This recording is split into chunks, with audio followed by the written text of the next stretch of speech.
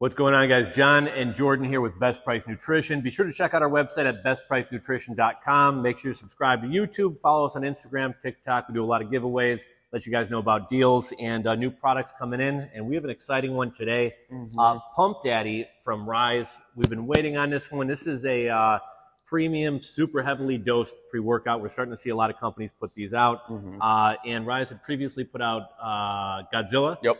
Which is a, a stim version. This is a non-stim, uh, super heavily loaded, 38.6 gram scoop, uh, with nine grams of citrulline, like really decked out with the uh, the pump ingredients. So Uh-huh. what, what do we got in here, Jordan? So I'm going to be going over because you have the option of a half dose, which is one scoop, or doing the full dose, which is two scoops. So Pump Daddy by Daddy Noel himself. If we go with the two scoops, something that you've never ever seen a pre-workout, nine grams of freeform citrulline. That's a crazy full, crazy more than the recommended dose. We got five grams of creatine monohydrate. So you don't even need to add a creatine supplement to this one if you double scoop it because you're going to get a full dose of creatine.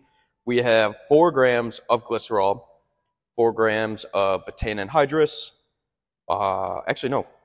Yeah, yeah, four grams of betaine anhydrous, four full grams of beta alanine. So tingly feeling, I mean, insane tingly feeling. Betaine nitrate, uh, the lactotripeptide, which is derived from the casein protein. It's the vasodrive AP, and the Panax notoginseng and astragalus to help with the absorption, and the vincamine, which is like a nootropic, helps with the focus. So one, two, three, four, five different nitric oxide boosters, beta alanine, betaine to help with the blood flow and the stamina. I mean, this is crazy. This this pre-workout is And, uh, fully dosed. A lot of these ingredients in here are the premium patented Mhm. branded versions of the ingredients. yeah, so the quality in here is absolutely insane. No, I'm really excited. I definitely want to try this one. And as of right now, we got two flavors. We've got Monster Berry, which looks like a blueberry limeade, similar to the Godzilla one. And then uh, black cherry, Black cherry. uh, black cherry uh, lime. Awesome. So yeah, no, I am like this one we've had a lot of requests for, and we just got this one in stock, so it is available now on our website. I mean, we were just talking about could somebody stack this with Godzilla if they wanted to? you could. I don't know. I mean, I'm sure there's been people who have done the two scoops of Godzilla with the two scoops of Pump Daddy. So we're talking like 20 grams of citrulline. I can't imagine that your body's going to feel that great.